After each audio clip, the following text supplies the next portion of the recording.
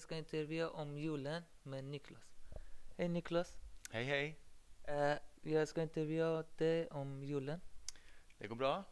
Eh, hur firar du julen idag jämfört när du var barn? Ja.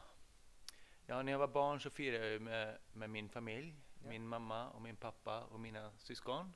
Idag har jag själv familj och eh, jag har en dotter som är nio år och jag firar med dem nu. Eh, det är faktiskt inte så jättestor skillnad. Vi äter ungefär samma saker och vi gör på ungefär samma vis. Eh, skillnaden är att jag får inte så mycket julklappar nu för tiden. Idag är det min dotter som får mest julklappar.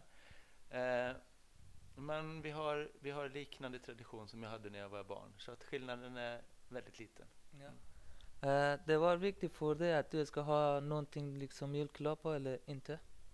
När jag var liten så var det väldigt viktigt. Det var jättekul att få, ehm, få saker. Det var spännande. Julklapparna låg under granen hela dagen. Och eh, man gick och funderade på vad kan det vara i julklapparna. Ehm, så när jag var liten var det väldigt viktigt för mig att få julklappar och det var väldigt roligt. Eh, nu som vuxen så, så är det inte så viktigt. Utan Ja, det, det är roligare att köpa julklappar till, till min dotter. Eh, vad var det din eh, bästa julklapp när du var liten? Oj, det var många saker. Jag minns eh, en radiostyrd bil som jag fick, Ja. som jag körde med inomhus eh, många timmar. Den var väldigt snabb eh, och rolig. Och så minns jag också ett rollspel jag fick. Ehm, ett rollspel som man spelar med tärning och penna och som vad hette eh, Sagan om ringen. Rollspelet Sagan om ringen. Ja. Det är två saker jag minns väldigt väl. Och vilken är din eh, favoritjulmat?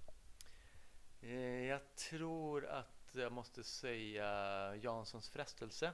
Vet du vad det är? Eh, vad är det för något? Ja, det är eh, en potatisgratäng nästan. Eh, strimlad potatis som man har i ugnen tillsammans med grädde och ansjovis och lök. Ehm, det tycker jag är jättegott. Ja, det är som jag måste prova någon gång och Mm. smaka på det. Det tycker jag. Ja. Och vilken är din eh, favoritjulsång? Oj, jo, jag vet. Eh, Jag har två egentligen. Ja. Det ena är eh, Gläns över sjö och strand som är en jättefin julsång. Och sen har jag en som heter eh, O helga natt. Och jag tror att O helga natt vinner lite. Det är min favoritjulsång. Ja. Kan du sjunga lite? O helga natt, o helga jord. Ja, det var lite. Ja. Eh, varför firar du jul? Eh, jag firar nog mest jul för att eh, jag har firat jul sedan jag var ett år gammal.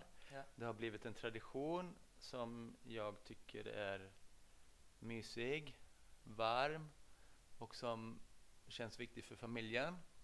Men vi firar också jul i Sverige för att eh, egentligen för att eh, minnas att Jesus föddes och att Jesus var ett litet barn under julen. Eh, alla tänker inte så mycket på det. Jag kanske inte tänker så mycket på det heller, men det är en av anledningarna till att vi firar jul i Sverige också. Hur ska du fira jul i år? Jag ska fira tillsammans med min sambo Anna och min dotter Ina. Ja. Vi kanske också firar med, eh, med min sambos föräldrar.